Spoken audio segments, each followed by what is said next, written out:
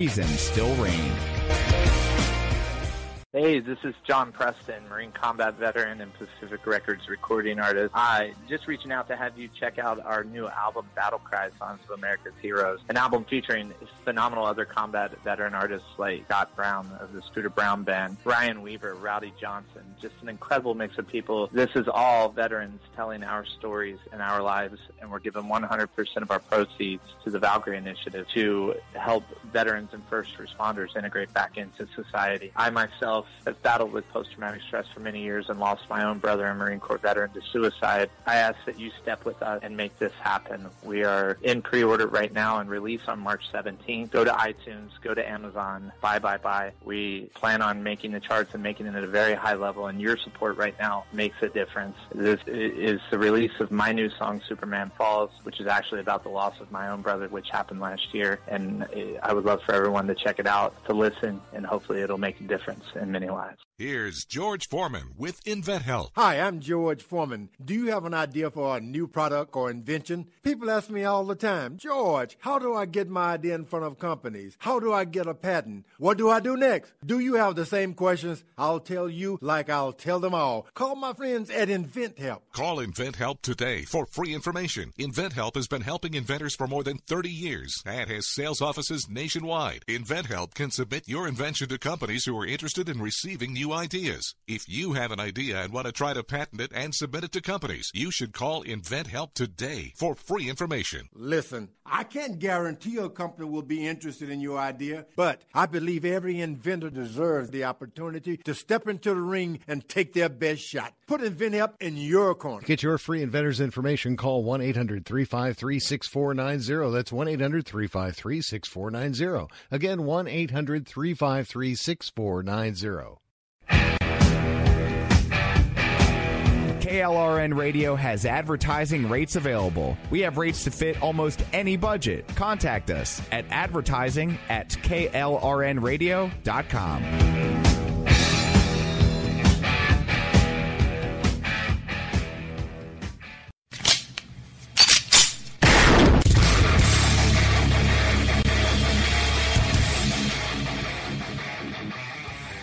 This is Slickery Trigger for Rebel Road Tactical. With proper care and feeding, your pistol will be ready when you need it, there to save your life. Shouldn't your gear be that good? Whether you need a holster for comfortable everyday carry or a tough as nails holster for your next training course, Rebel Road Tactical has what you need. Check us out on the web at rebelroadtactical.com. Tired of paying outrageous prices for Viagra? Well, we have great news for you. Now you can finally get Viagra at huge discounts. Healthy Man allows you to save up to $500 on Viagra. Why pay U.S. pharmacy prices of $15 per pill or more when you can get Viagra for less than $3 a pill? Call today and get 40 Viagra pills for only $99. This can cost as much as $600 at your local pharmacy. You can't afford not to call us. If you want Viagra at the lowest prices, never pay $15 a pill pharmacy prices again. Get Viagra for less than $3 a pill. Call 1-800-516-7602 today and save up to $500 and get 40 pills for just $99. Healthy Man is fast, easy, and affordable. Operators are waiting at 1-800-516-7602 to take your call right now. Call 1-800-516-7602. That's 1-800-516-7602. Again, 1-800-516-7602.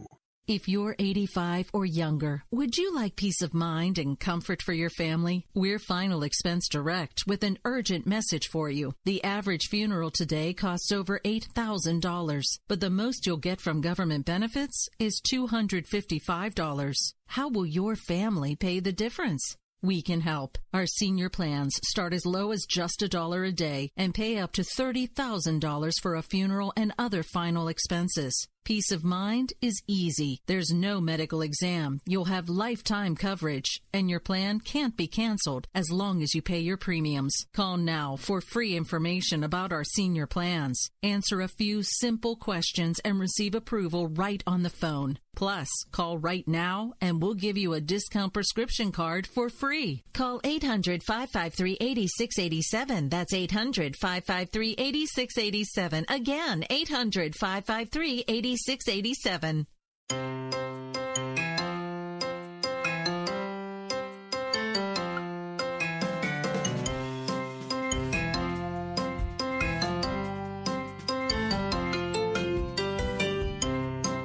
The world around us is an amazing place filled with beauty and with science.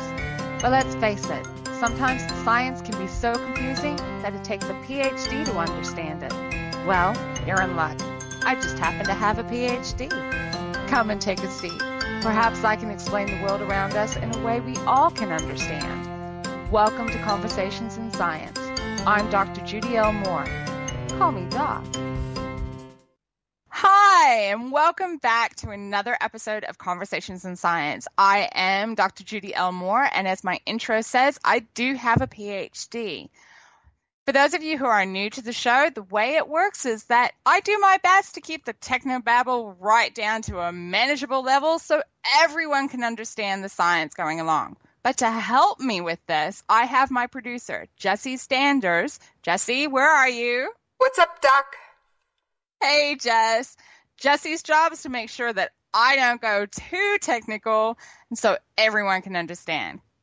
Right, Jesse, a couple months ago, we were talking about global warming and climate change. Do you remember that? Of course, Doc. I remember all your episodes. well, I have had some very interesting things come across my news feeds. Some of them are just crazy land, where others of them are really good ideas that could potentially work and solve some very real environmental issues. Cool. I've seen some real so, ghastly things to something to a few things I think might work, Doc, but you know me, I don't get all the science behind it. That's what you're here for. Exactly. That's exactly what I'm here for. Right. So, for those who didn't actually hear our episode back from February, where we were talking about global warming and the science behind what climate change is, I just want to do a quick rehash. Global warming and climate change, although they're related, they're not the same thing. Climate change is talking about anything that is going through and infecting our ability to produce food and our weather patterns within our local climate areas. So that's what climate change is. Global warming just happens to be part of the equation. When we're talking about global warming, we're talking about the effects that greenhouse gases have on our planet. Greenhouse gases is any gas that will take a energy source of some description and convert it into energy. So I'm talking about things like carbon dioxide, methane, ozone, and water. Yes, folks, water is a greenhouse gas. What it does is it absorbs the energy from the sun and stores it up and then releases it in the form of heat. It also reflects whatever heat's coming back from our surface back down and keeps the heat in as well. So it acts like a blanket on our planet. And that's what these global these greenhouse gases do is they act like a blanket to our planet. Without them, we would freeze to death. We would have a surface temperature of about minus 18 degrees. I don't care where you are, that's cold. Okay, Doc, minus 18 degrees Celsius, I'm assuming? Yeah. It's freezing. that is freezing, and I think that's really cold. But I think the only thing colder would be the what Kelvin scale or something weird like that that we don't all aren't all familiar with. Uh, if you want me to go into Kelvin, I can explain Kelvin, but I don't think we need to, do we? Not today, Doc. We'll save that for another show. We'll, we'll have to do something on measurements. Maybe we will. Okay, so without greenhouse gases, we would freeze. So greenhouse gas is good. The amount of greenhouse gases, not so good. Because we are actually storing more of that energy and we are basically warming up. Most scientists can agree that global warming is a happening thing, that climate change is a happening thing. What they can agree on what no one can agree on is how much of an influence that human beings have had in this equation. Have we really damaged things to beyond the point where we cannot recover? I don't know. Have we taken things so outside of the range with our industrial evolution that the earth itself is not going to be able to recover. I don't know. But that's the problem. Scientists cannot agree on that particular issue. Saying that, though, because scientists do agree that it is an issue and that we need to be looking at various different environmental issues, there's some really cool technologies that are coming out, but then we've also got the crazies that have come in. So, where do we want to start, Jess? Do we want to start with some of the crazies, or do we want to start with the technologies that are actually have a shot at working? Why don't we start with the the obscure and the ghastly and work the obscure, ghastly, and crazy, and work our way to the stuff that might actually do some do some good, so we can end on a positive note, Doc. Okay, that sounds cool. All right, so let's start with, hmm, I don't know. You like your steak. I like my steak. I know a lot of people like their steak. So let's start with steaks. Sounds yummy, yeah? Doc. Pass the A1. Okay. So there's quite a few people out there that understand and realize that cows fart. They produce methane gas and quite considerably. In fact, it turns out that the meat industry has actually contributing to um, various different factors of carbon dioxide and our global warming issues by about 18%. Wow, Doc, I hadn't heard that number before. That's pretty insane. Yeah, and it but that is not just cow farts that is going into this. This is also through their fertilizers, through the animal manure, through transport, through the actual full meat industry as a whole, it's about 18%. Now that's a big, big number. And the solution that people have come up with this to deal with this is that we just kill all the cows and that everybody goes instantly vegetarian. Uh, don't take away my beef, people. yeah, no, sorry. You're going to struggle in a big way to take away the meat from a lot of people's diet, including mine. I'm sorry. I like my meat. End of story. I do like my meat.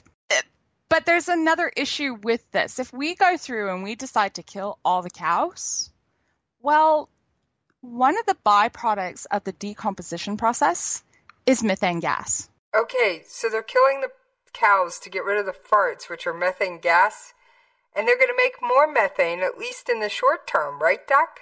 That we still can't do anything. They're just going to make the situation even worse. The thing is, is the decomposition process is not just cows as well. Okay. Hey, Doc, before Anything we get off the decom- beef, California's what? gone crazy again. You ready for this one? Okay, tell me. They're taxing farmers on cow parts. How do they measure that? I don't know, and I'm not sure I want to be the guy that has to insert the measurement tool into the business end of the cow either.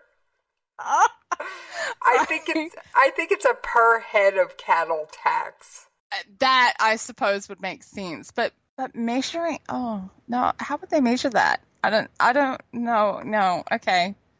Like I said, okay. California's gone crazy again, Doc. Okay, no, I, I suppose I can understand where they're coming from, and but it's not the solution.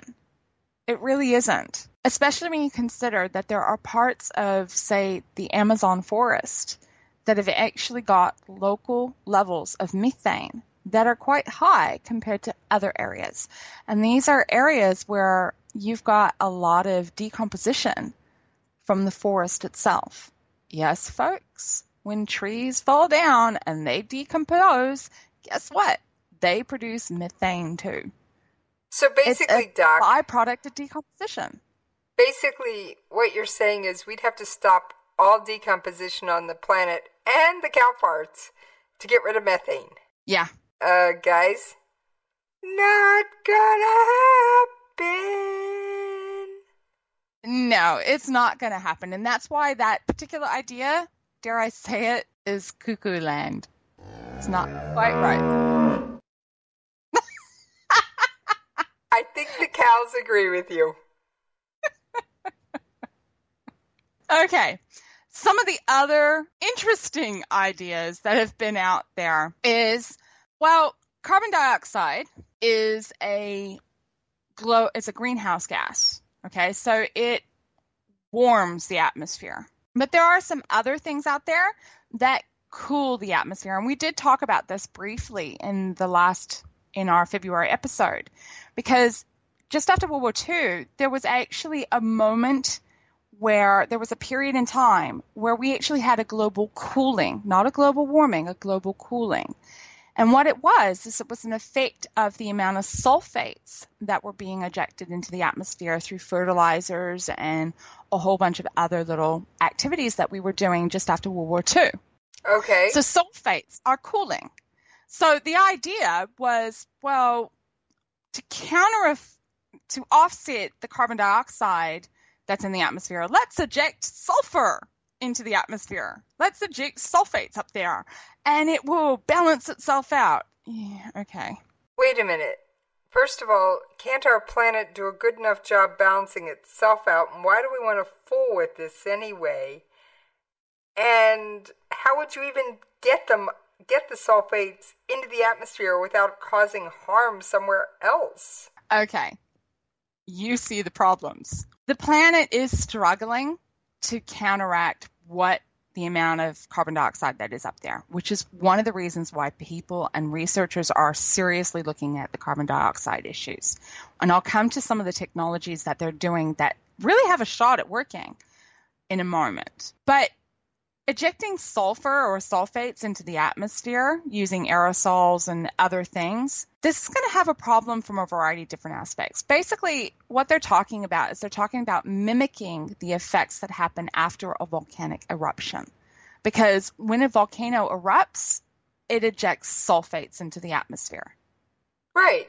But, I, Doc, last episode, yes? didn't you say that sulfates in the atmosphere, when it rains, make acid sulfuric acid and cause acid rain?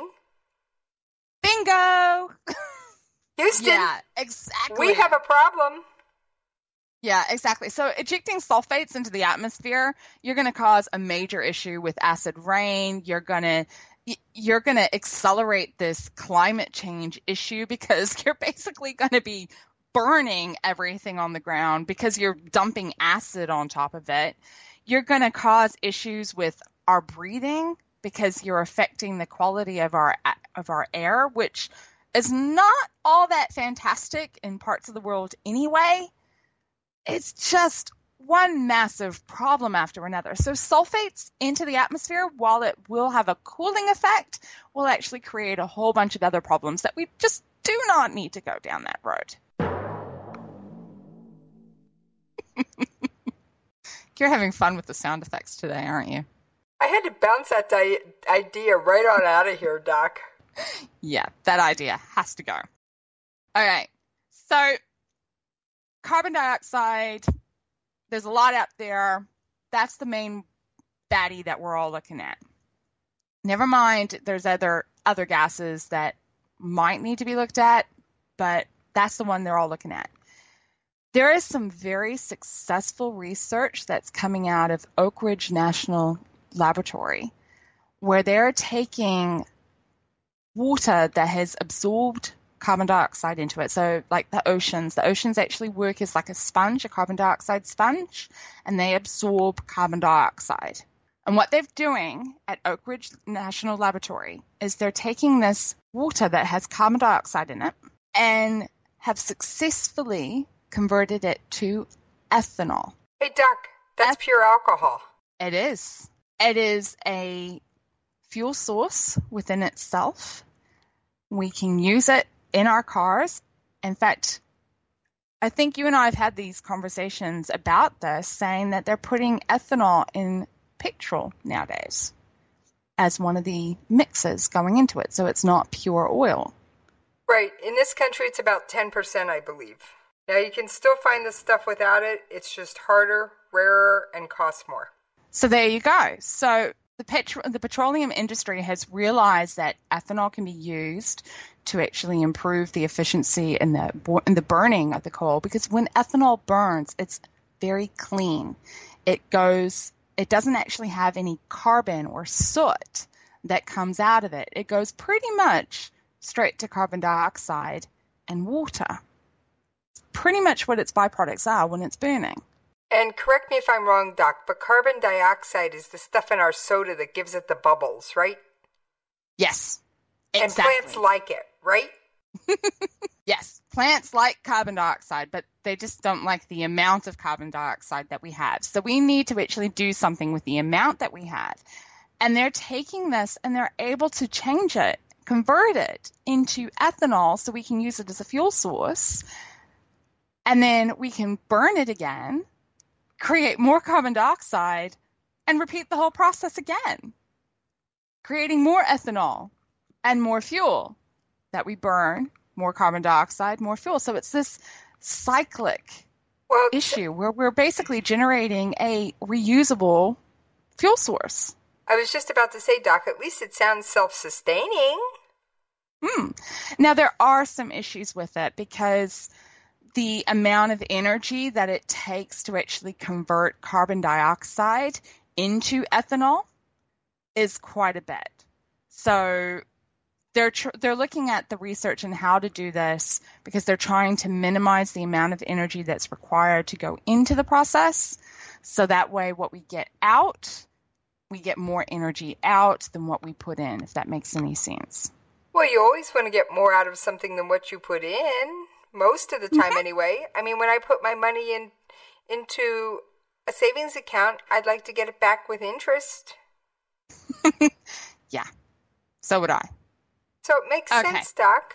So that's the biggest, the biggest improvement and the biggest, that's the biggest um, advantage or scientific advancement that we've actually achieved so far to date about how to deal with the carbon dioxide situation. And I'm actually watching it because it's actually quite impro- it's quite a promising that it could happen. There are some other things, and they're looking at the actual burning situation. So they're looking at the emission side of things rather than how to solve the issues that we've the the quantities that are currently there. One of them that has been around for many, many, many, many years is the electric car. So if you don't need fuel, you can use just electricity. Obviously, you would have no carbon monoxide being released you'd have none of this carbon dioxide, a carbon emission situation, and you would have, you would sort of improve your carbon footprint as a consequence. The technologies for the electric car have leaped. They may they have, have gotten better, Doc. Jumped. But you still can't drive cross better. country in one without having to stop and plug it in somewhere. And thanks, I like my big long road trips. That might be the case, but they are still significantly better than where they are. And they're getting closer by the day, a lot closer by the day. In the past, those electric cars were so slow. I mean, you put your foot down and you're like, can we accelerate today, please? That would be good. The light has gone red, you know, green. Oh no, it's going red and I'm still not through the intersection. That's pretty much where the technologies were at several years ago. But I will now, say, Doc, for just running yes? around town locally, I think they'd be a good thing. Now that they've got some get up and go. Mm, they do. In fact, the latest models that have been released from Tesla are actually just as they have just the they have the same sort of acceleration power as a sports car. Well, that's awesome. They finally figured out how to overcome the I'll get there when I feel like it. Yeah, they do. And they're so awesome from that point of view. They're also, but Tesla's also taking it to the next level. They're also looking at doing things like smart cars in the sense of that they are self driving, self navigating. I'm not quite sure I like that idea just yet. But that is what they're aiming. They're aiming for the science fiction cars that we've seen in all those science fiction movies where they you get in the car and you say, "Drive me here," and it just goes and it navigates itself and avoids other traffic on the road and takes the best traffic passage and having all of that sort of things. That's where they're aiming. And and I have to admit, it's pretty cool that it is going that way, but I I'm sorry, I like driving myself. I think I, I still like the feel of the steering wheel in my hands. I like driving myself, but I could think of times on one of those really long road trips where I'd like something else to hold the steering wheel just for a minute so I could pick up something I dropped off the, on the floor of the car or consult a map or something like that. Yeah.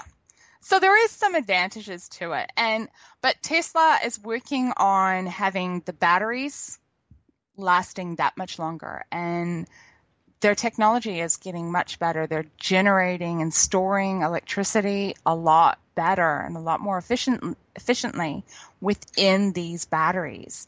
They're now actually promising to be able to create like a solar power bank for your house where you can actually have your house completely isolated off the power grid, but you still use the same amount of electricity that we currently do within a modern current home. And that's that where Tesla cool. has moved this technology. It's impressive where they've taken it. That does sound impressive, Doc, because I don't know how much electricity we go through around here every month. But I don't want to give up my gadgets. You know me. Have you ever seen me without a gadget close at hand? No, I haven't. And and I'm pretty much the same. I'm sorry. I yeah, I'm I I like my social media probably a bit more than I really should. But hey, you know, but that's where the technology has gone, and it is very impressive. So, looking at things like your alternative energy sources, you have a significant number of areas around the world are now using wind farms. You have hydropower stations that have taken off in a big way instead of using coal burning. You have solar power that is taking a massive, massive interest in countries like India and Japan. And they're actually now building whole power station areas that are solar power based. Some of them are producing up to 10%, 20% in some cases, according to the reports that I've seen, of the amount of electricity to run a major metropolis. Well, that's, that's awesome, impressive. Doc. That really is impressive. Now, I got to tell you something. I used to live out in Oklahoma. I don't live there anymore, so for anybody who's been following me around on podcasting trying to figure out my location, Oklahoma won't get you anywhere near me anymore. But what they'd started when I was out there was you could opt in to this program to have a portion of your electricity come from the the wind wind turbines they had out that the electric company had out there, and you'd get a slightly lower electric rate. And Oklahoma, I don't know how much you know about the weather there, Doc. The wind's always blowing. Yeah. Always. Yeah, and we've got wind farms here in, in New Zealand as well. We've got one that's just outside of Wellington. We also have um, we have some that are actually out in the oceans as well. There, we've got a few of them that use a combination. They do the wind turbine, but then they also use tidal forces as well. Now that sounds cool. Now you know what I thought was really cool, and you actually pointed this out to me, was the sunflower, the solar sunflower. I want one. I so want one. It was so awesome. It came across my Facebook feed and it looks like this giant mechanical sunflower. What it is, is it's actually solar power um, panels that are in the shape, they sort of in the shape of a petal, and they mechanically come out whenever the sun's out. So they detect the amount of cloud cover that you have versus how much sun's there. And it keeps moving such that the panels are always at a 90 degree angle to which the sun is coming in. Now, that's actually an important thing because when you're looking at solar panels, and this is one of the reasons why solar panels are always at an angle, it's because they need to be at that optimum or near 90 degree angle for the sun when they're at the height of the day, when it's mo- when the sun's most intense, for them to get the best conversion of energy the most photons that they can have on this, photons being little particles or little packets of light. Now, if you are looking at something that's, say, I don't know, 30 degrees to what the sun is coming in at, then you're going to have a, a significantly lower efficiency of conversion than if it was at 90 degrees, getting all of that sun. And that's so that's why they do that. So having this sunflower that that literally moves with the sun, this solar panel bank that moves with the sun, that was just like so awesome. And it was so cute too. And this particular device that they they're talking about, whenever it starts to rain, it sort of folds itself up and just sort of protects those panels. So you don't have them trying to collect sunlight when there is no sunlight to collect. And it was just so cute. I want one. I thought they were pretty neat too, Doc. I have one on, I have one on my wish list for years and years down the road, though. And they'll probably have something even more fun then. Okay. So I just want to, for the moment, I want to just temporarily move to some of the other environmental issues that have come out or the effects. Now, I'm going to temporarily go back to Crazyville because one of the things that just angers me more than anything else is when I see a comment coming through on Facebook or Twitter or on any other social media feed where someone has taken just a little bit of knowledge and has used their position of power to scaremonger people. The problem with this is that people have one of two reactions. People go, oh my God, the world is coming to an end. Ah!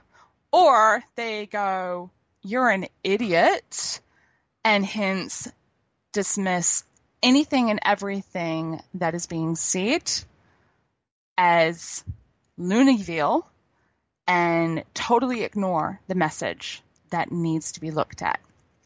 I'll give you an example. I don't normally talk about political sort of things, but I'm sorry, this one went right across the Facebook as the most idiotic statement that could ever have been said. Chelsea. Actually, Clinton, I think it was on Twitter. Yeah, it was on Twitter, this one.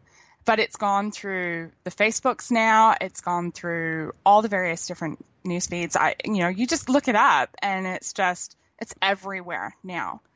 Chelsea Clinton had released a tweet, and I quote, Horrifying research shows correlation between global warming and rise in diabetes cases. Global warming and diabetes? I couldn't make that link either. In fact, I think that's why I sent it to you, Doc, wasn't it? Yeah, it was. And basically, what she's done by this statement is she's jumped from A to Z without going through the rest of the alphabet. And she's just made herself look like she's an idiot, not knowing what she's talking about. Let me explain what the research really is saying so people understand what the real message was meant to be. Climate change and global warming have multiple different effects on the humans and our diets and our health. Let's break this down into little sections. Let's first think about warming. Okay? Temperature rises. What do most humans want to do? Cool off. They want to cool off. They sit down in the shade. They don't want to move. It's too hot. I don't want to move. Yep. Yeah, I'd say that's pretty accurate, Doc. I mean, I know on a hot day, you'll find me either in an air conditioned climate, in front of a fan, or somewhere where it's not so hot. It goes the other way too. If it gets too cold, most people are like bundled up in front of the heater going, I don't want to move, it's too cold. I want to just hibernate. Yes? That's why I have a heater under my desk, Doc.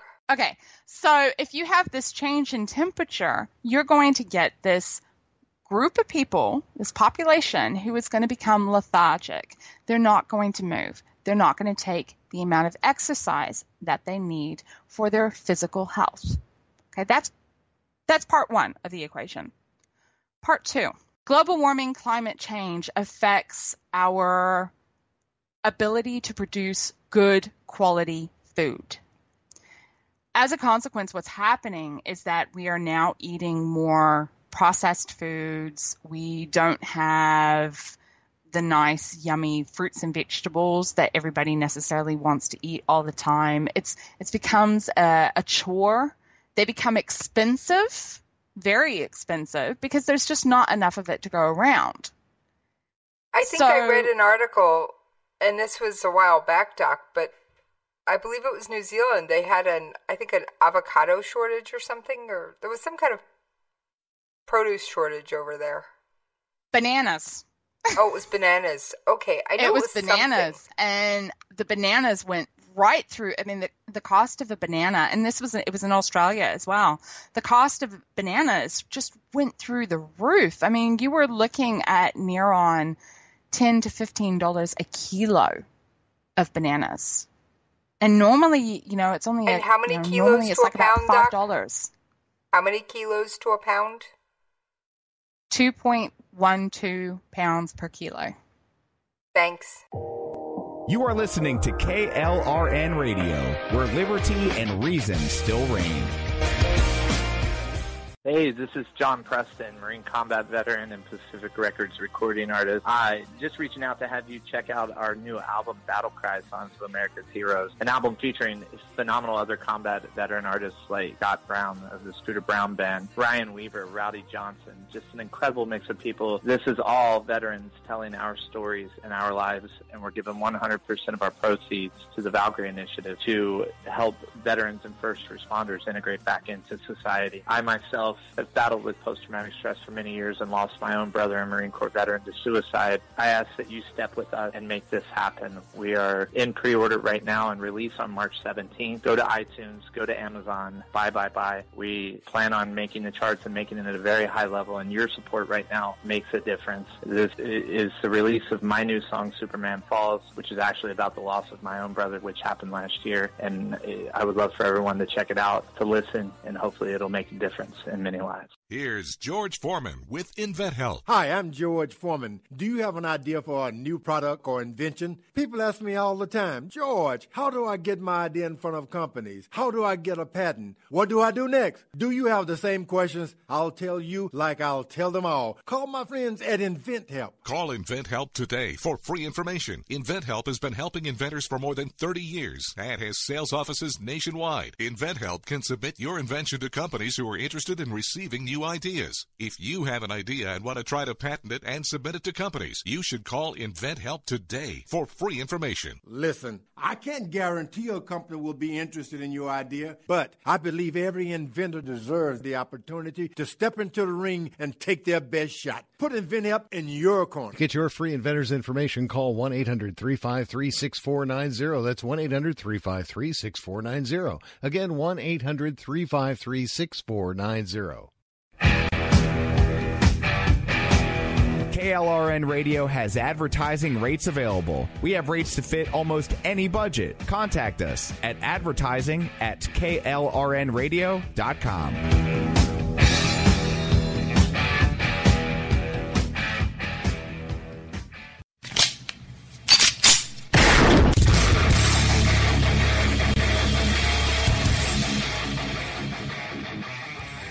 This is Slickery Trigger for Rebel Road Tactical. With proper care and feeding, your pistol will be ready when you need it. There to save your life. Shouldn't your gear be that good? Whether you need a holster for comfortable everyday carry or a tough as nails holster for your next training course, Rebel Road Tactical has what you need. Check us out on the web at rebelroadtactical.com. Tired of paying outrageous prices for Viagra? Well, we have great news for you. Now you can finally get Viagra at huge discounts. Healthy Man allows you to save up to $500 on Viagra. Why pay U.S. pharmacy prices of $15 per pill or more when you can get Viagra for less than $3 a pill? Call today and get 40 Viagra pills for only $99. This can cost as much as $600 at your local pharmacy. You can't afford not to call us. If you want Viagra at the lowest prices, never pay $15 $3 a pill pharmacy prices again. Get Viagra for less than $3 a pill. Call 1-800-516-7602 today and save up to $500 and get 40 pills for just $99. Healthy Man is fast, easy, and affordable. Operators are waiting at 1-800-516-7602 to take your call right now. Call 1-800-516-7602. That's 1-800-516-7602. Again, 1-800-516-7602.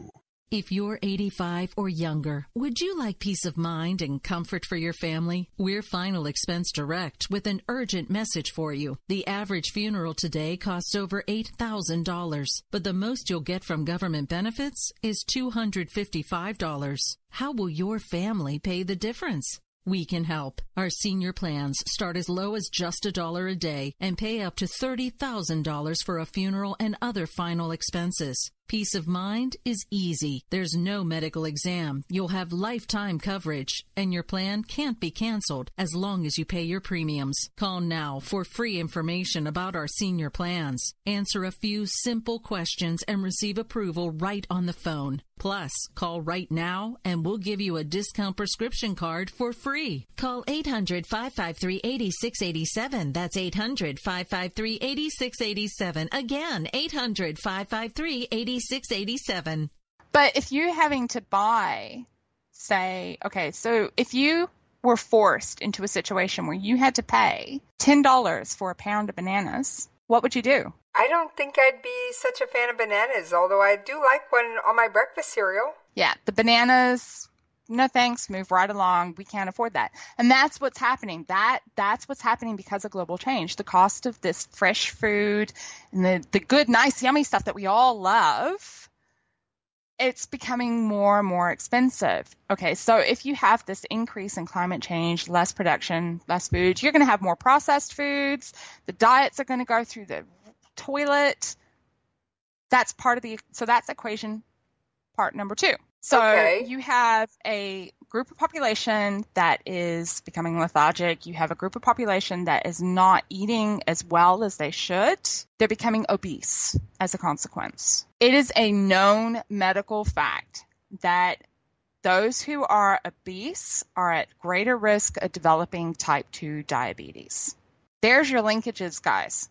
That is what she was trying to mention. This is what the research is actually saying.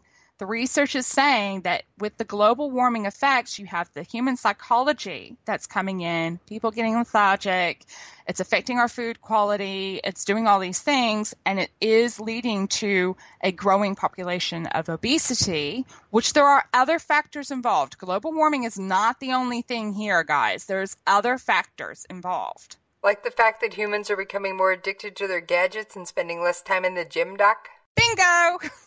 there are so many other factors involved. But you make all of the connections together and you can find a correlation, if you really, really want to, between an increase in type 2 diabetes and the global warming. Unfortunately, the way Chelsea Clinton had advertised this is that connection, that link was completely gone. and So everybody just treated her like she was an idiot. So people didn't take her seriously anymore after she put out that post, did they? At least not no, on that they topic. didn't. And unfortunately, it devalued the research as, as well, which I think was actually probably more of the negative side because the research that really does have validity to it is now being tainted with this negative brush as well. Well, that's a that's a problem, Doc. Because And unfortunately, she's not the only one who does things like this. There's lots of people out there that make these statements. And as a consequence, you have people who are in power, global power, that are going, this global warming thing is fake science. Because all they see is these negative leaps that have taken and tainted the message. well, that's not good, Doc. That's why I like when I find something that I think is for the birds. I bring it to you. I find I Yeah. go, "Hey, Doc, have you seen this one?" Yeah, so that's why you bring it to me because it does. It just infuriates me. These people with a little bit of knowledge in places of power tainting things, and it just, yeah, no. shifting it away from all of that and into something that is positive, we know we'll move away from global warming altogether for the moment because there is another environmental issue which is probably just as important. And I'm talking about plastic. Oh, you mean my water bottle, Doc? yeah, plastic has become a real major issue in the sense of that we have so much of it sitting in our landfills. Our oceans are now being loaded with it. It turns out that within a recent measurement that they were doing on British beaches, that 75% of the 279 beaches in the UK are covered in these little tiny plastic beads. It's not pure sand anymore. It's now a mixture of plastic as well as sand. And that's sad. Well, first because of all, plastic is not biodegradable. They didn't put that plastic there on purpose to protect anything, no. now, did they? No, they didn't. The sources of these plastic comes from a variety of different things. Some of it is actually comes from our um, at, at one point we had in our cosmetics we had tiny little plastic beads in our exfoliants. And so, you know, you'd wash your face and it'd go down the drain and it'd find itself in the oceans. And those are now washing up on the shores. You also had, you know, if you've got little bits of plastic or something in your clothing, because they're, you know, you're using synthetics, they do have some clothing has got some levels of plastic. And just the small little tiny surface layers are all washing off and they're going into the waterways. We have plastic everywhere. And then, of course, you have the um, the plastic bags that we get from shopping. You have I love those little... bags, Doc. They're they're actually really useful. They might be useful, but they do have their issues. Well, I do try and drop the ones I don't reuse for some other purpose into the recycle bin at the store when I go back. Which is good. That's a good thing. So, I mean, that's it's the plastics that's basically driven our recycling. But there is a a project that's out there that I have taken great interest in this particular project for a variety of different reasons. And the project is called Plastic Roads. For those of you who are Doc. interested in finding out more about it, you go to plasticroad.eu. It is an initiative that's been developed by a group of companies in the Netherlands. The three companies involved one is KWS, which is a subsidiary of Volker Wessels, and they are a roading construction company. They they are experts in the production of asphalt and roading construction materials. Then you have another company which is called Wavin, and they are experts in recycling of plastic, and they specialize in plastic tubing for rainwater drainage. Okay? All right, you And got me so far, company- Doc, but I still can't see my water bottle supporting my car. Yeah. car. Okay, let me carry on. The third company is Total, Total Plastics, and they are totally into oil and petroleum and looking at how you can improve the properties of plastics by mixing different plastic molecules together. What they are doing is they are looking at how you can create a plastic box channel and turn it into something that you can use to do roads that can support a diesel truck. Okay. So we are looking at generating something that is made out of plastic that can be really strong and hold a lot of weight. It has some questions whether you can do it or not. But plastic does have different strengths to it. Think about it. You've got your plastic bottle, which you keep squishing, and I can he- keep hearing it. But then you'll have other aspects like, I don't know, your cell phone covers that you can sometimes use. They're made of plastic. Yeah, I love my cell phone cover. It's great, and it's got rubber But on it's it too. It's strong, isn't it? And my phone will bounce. and it's a strong cover. It is, yes? you know. Okay. So different plastics have got different properties. Trying to find the right mix of plastics to actually create something that will be strong enough is only just part of the problem. With looking at this plastic roads concept, their main goals were they didn't want to create new plastic, more plastic than what's already out there to do this project.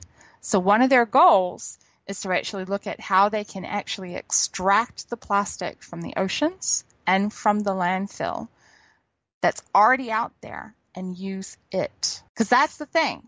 We can clean up the oceans, we can clean up the landfill, but what do we do with all that plastic once we've actually cleaned it all up? What do we do with it? This is a very real possible solution of what we could actually do with this plastic. And the idea is that if you've got a section of road that has a pothole or something that needs to be replaced, you literally just take out that box section, put in a new one in its place, and take the broken one, chop it all up into little bits, and make a new section that you can use for future. So it becomes a self-sustaining project. I think the governor of, of Atlanta, of Georgia would love you right now because I don't know if you caught this on the news. There was a section of a major interstate, I-85, that just collapsed recently. Now, no one was injured or hurt because there was a car fire underneath it, and that's what weakened the structure and caused it to collapse.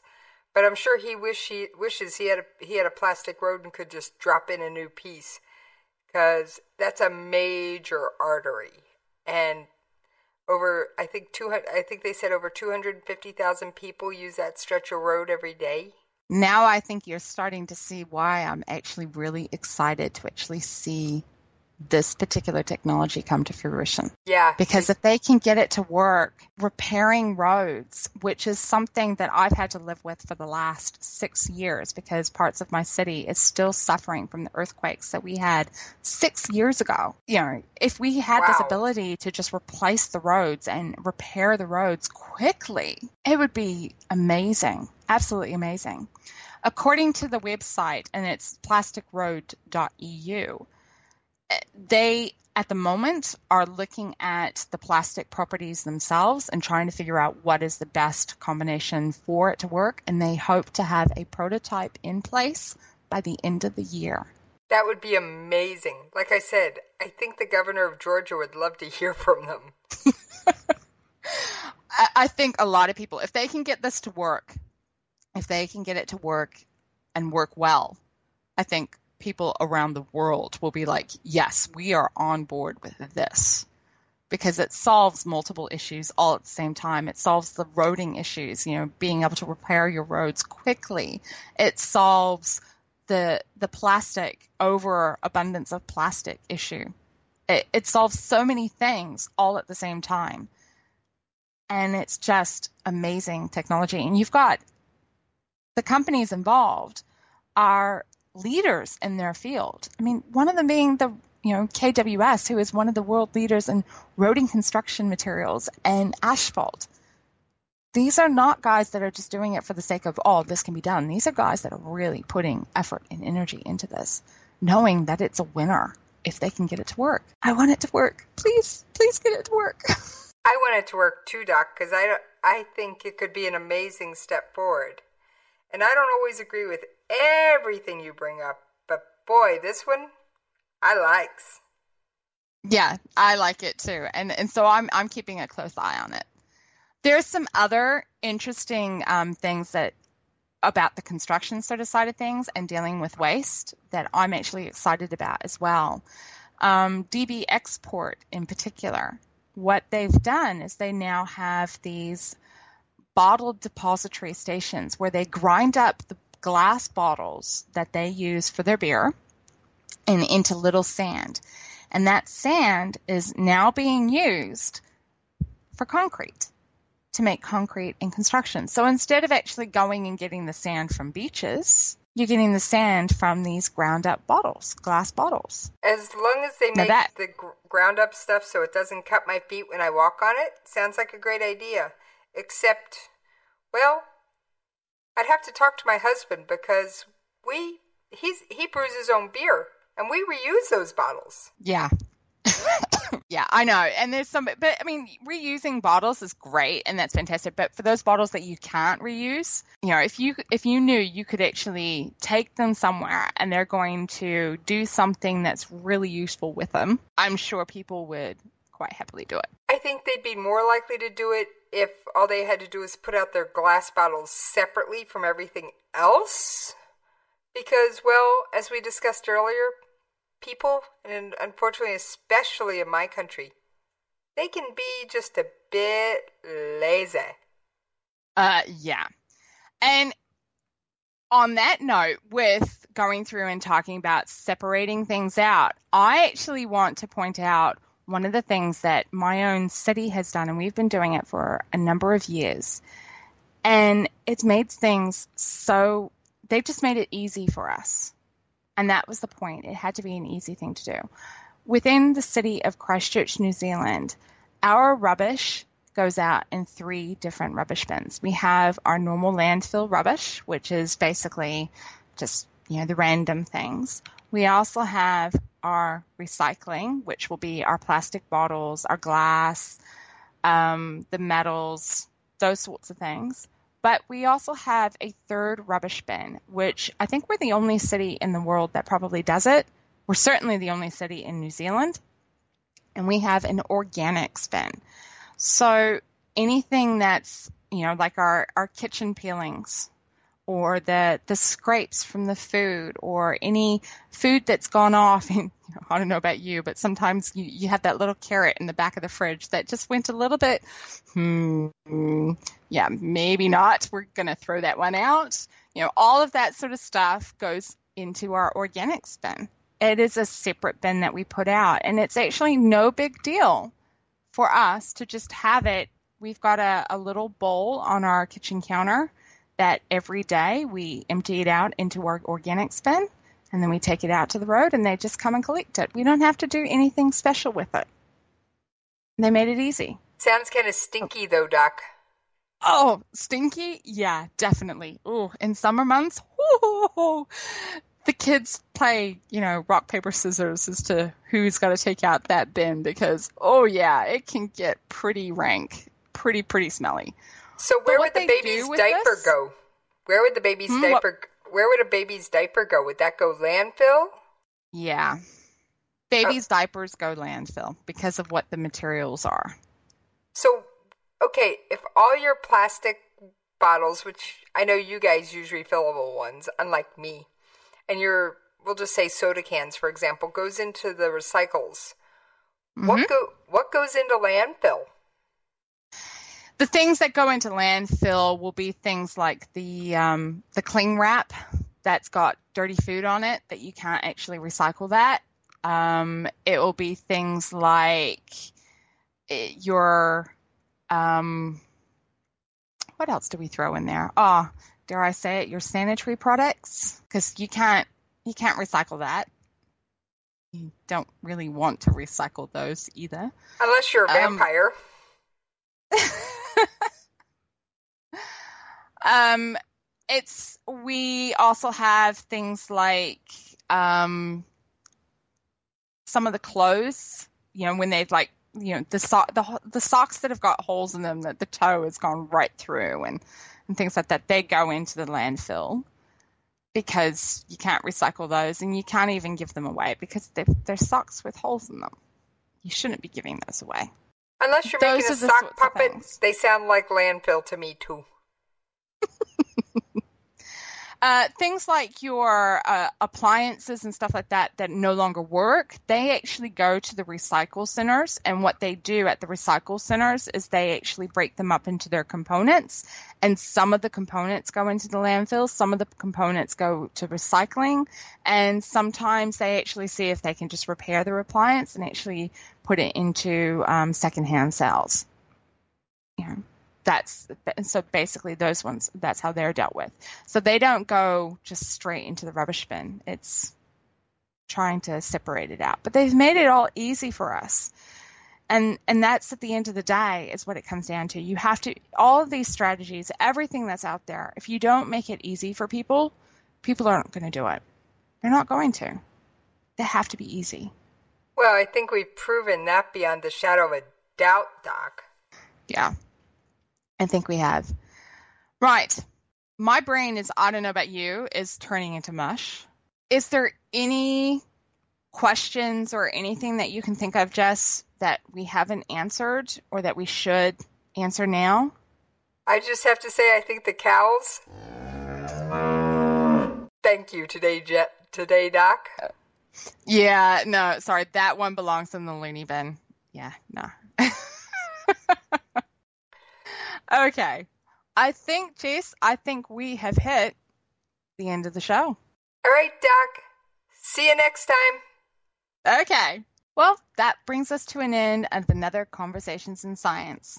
If you have any questions about science and about some of the world around us, feel free to drop me a line. I'm on Twitter, and you can find me at Judy L. Moore, or you can look me up on Facebook, Judy L. Moore, or you can drop me a line on my personal website, judylmoore.com. I think you're seeing the pattern here.